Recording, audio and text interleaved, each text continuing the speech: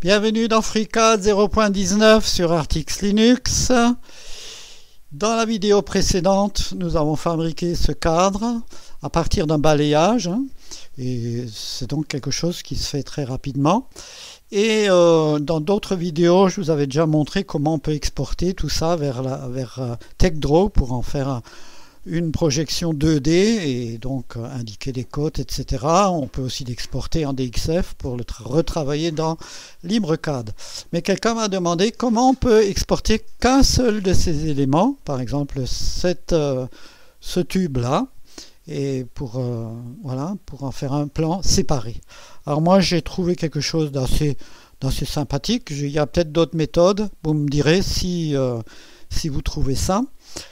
Je vais tout simplement prendre le Pocket ici. Je vais dans l'atelier Draft et je clique sur cette icône là, la flèche vers le bas ou modification, euh, modification downgrade. Donc là j'ai plein de faces hein. et là je pourrais, je pourrais donc exporter l'une face ou l'autre. Alors on va y aller. Je prends TechDraw je crée un nouveau document, c'est-à-dire moi ça va être du A4 euh, Landscape blanc, donc euh, vide, sans rien dedans. Voilà, il est là. Je vais sélectionner ma face que voici, mais il faut que je l'oriente correctement. Sinon, elle va s'exporter comme ça dans, dans. Donc, il y a une macro qui est très intéressante qui s'appelle euh, Align to View. Alors, je vais quand même rapidement aller dans ce dans ce gestionnaire des macros.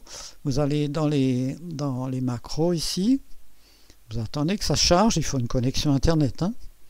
Et là, vous cherchez sous Align, Align, Align, je ne sais pas comment on dit en anglais. Vous en avez plein. Moi, j'ai Align View to Face. Hein. C'est le plus simple. Mais il y en a d'autres qui vous permettront de faire des choses plus évoluées. On va s'en tenir à ça. Donc cette macro est installée chez moi. Je sélectionne la face, je vais sur macro, macro, pour là elle est là euh, parce que je l'ai utilisée récemment.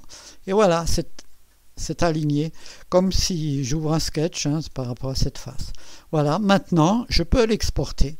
Je peux l'exporter en cliquant sur cette icône là, insérer une vue. Si je vais là-dessus, voilà, elle est là. Pareillement, on va faire pour euh, j'ai pressé 2 hein, pour avoir ça. Je vais exporter ça.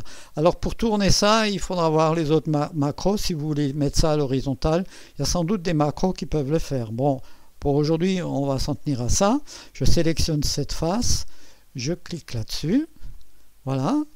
Et on va faire la même chose que précédemment avec la face interne, macro, macro récente, align to view, align to view, et ici. Voilà, donc j'ai mes trois vues qui sont là.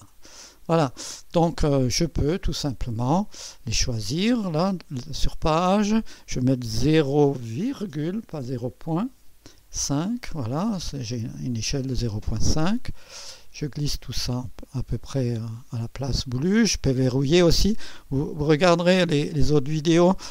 Euh, vous, allez sur ma page d'accueil, vous cliquez sur la loupe et vous, cliquez, vous écrivez TechDraw. Vous aurez toutes les vidéos qui parlent de TechDraw. Voilà, donc on va cliquer sur ça. Contrôle maintenu sur ça. On va indiquer un angle. Attendez, il n'y est pas. Voilà, je n'avais pas. Voilà, là c'est bon. On a un angle on va faire de même pour ça. Là normalement voilà c'est bon.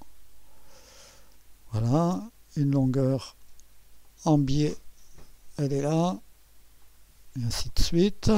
Et le reste vous connaissez les dimensions etc voilà donc euh, on a exporté ces trois faces séparément.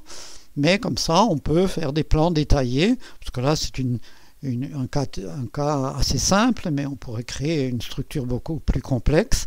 Et on ne veut pas dessiner l'ensemble, mais juste une des pièces. Donc on peut le faire en exportant les faces, comme on l'a vu aujourd'hui. Mais si vous avez des suggestions, je suis tout oui. Voilà, à bientôt.